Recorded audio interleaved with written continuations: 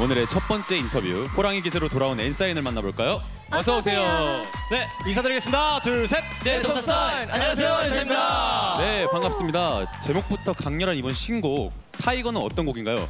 네, 저희 이번에 두 번째 repackage 앨범 Tiger의 new flavor처럼 저희 엔싸인의 다양한 시도에는 겁이 없고 늘 새로운 모습을 보여드리고자 하는 내용이 담긴 곡입니다. 네, 호랑이처럼 질주하는 듯한 역동적인 퍼포먼스도 보실 수 있으니까요. 많은 기대 부탁드립니다. 네, 역동적인 퍼포먼스 너무 기대되는데요. 포인트 안무도 소개해 주신다면요.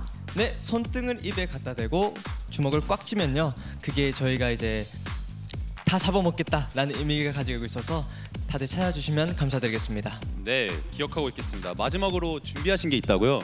네, Tiger라는 제목에 걸맞게 저희 엔싸인만의 호랑이 포즈를 준비했는데 MC님들도 같이 해주실 수 있나요? 네, 너무 좋습니다. 좋습니다. 하나, 둘, 셋. 음. 아유.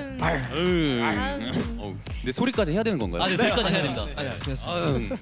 네, 좋습니다. 그럼 거침없는 엔싸인의 무대 바로 만나볼 수 있을까요? 그 전에 실력파 밴드 투지의 무대 먼저 만나보겠습니다.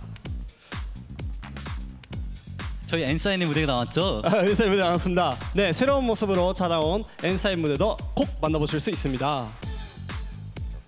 네, 모두 모두 놓치지 말고 조금만 기다려!